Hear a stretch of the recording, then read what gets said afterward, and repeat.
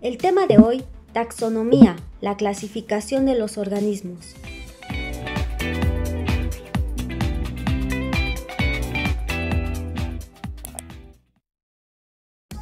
Desde el principio de los tiempos, los hombres han intentado calificar y catalogar a todos los seres vivos que se encuentran en el planeta, y Aristóteles fue el primero, diferenciando dos reinos, el vegetal y el animal.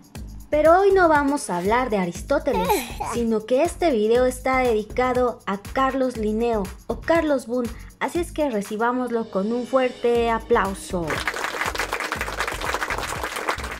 Él fue un naturista sueco y con seguridad el más popular de la historia. Es más, si tuviera un canal de YouTube, seguro tendría más suscriptores que Luisito Comunica pero eso no va al caso. El chiste es que es tan famoso que es considerado el padre de la taxonomía. ¿El padre de qué? De la taxonomía, taxonomía, taxonomía. Déjate explico. La taxonomía es la ciencia que estudia los principios, métodos y fines de la clasificación de los seres vivos.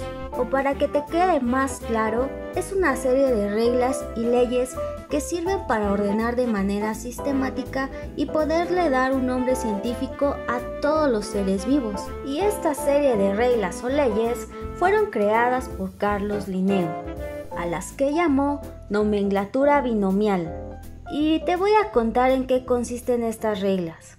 Número 1. La primera palabra del nombre es el género y la primera letra va con mayúscula. Número 2. La segunda palabra del nombre es la especie y se escribe con minúsculas. Número 3. Siempre se escribe en latín. Y número 4. El nombre va subrayado en cursivas o en itálicas.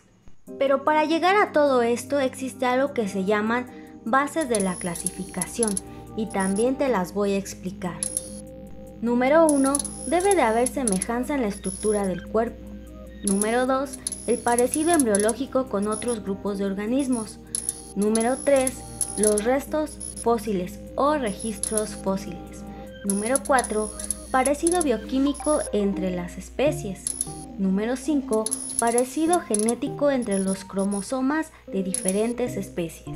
Y teniendo en cuenta todos estos aspectos importantes, se clasifican de manera jerarquizada, llamada también categorías taxonómicas, que te las tienes que saber muy bien. Así es que pon mucha atención. Dominio, reino, filo, clase, orden, familia, género y especie. Ya te las aprendiste, repite conmigo.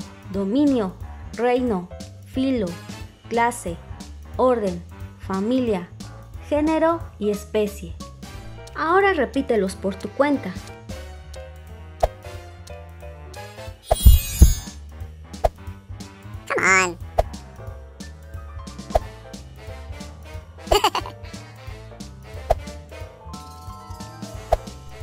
Perfecto, espero te haya gustado este pequeño video.